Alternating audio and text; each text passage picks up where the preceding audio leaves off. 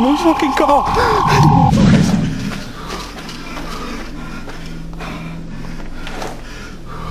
I swear to God, I'm never going to touch mushrooms again. Ah!